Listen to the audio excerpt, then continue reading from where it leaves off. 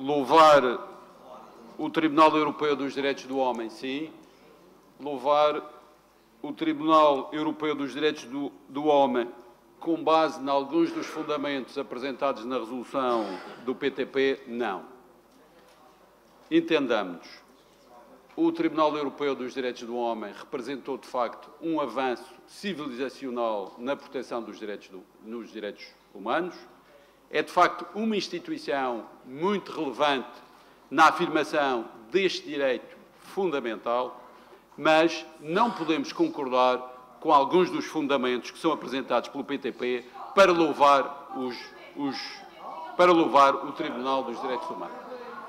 A senhora deputada pergunta-me quais são os fundamentos com os quais não concordamos.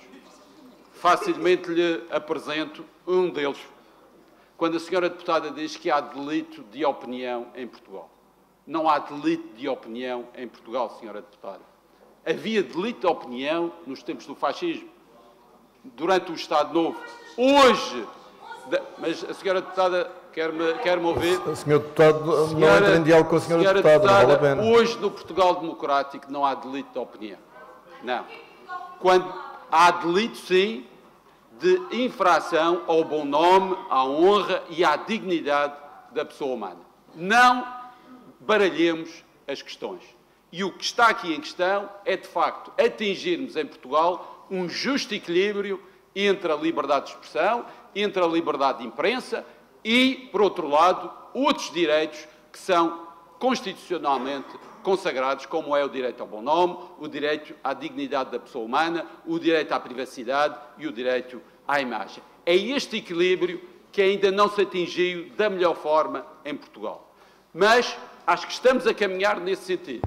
Tanto assim, Senhora Deputada, que a jurisprudência do Tribunal Europeu dos Direitos do Homem começa a ser acolhida em Portugal. Temos já algumas decisões de tribunais portugueses que, que têm no seu fundamento a jurisprudência deste, deste, desta instituição relevante do Conselho da Europa. Portanto, Senhora Deputada, estamos no bom caminho, estamos no bom caminho, a justiça portuguesa está também a absorver os princípios que constam da jurisprudência do Tribunal Europeu dos Direitos do Homem.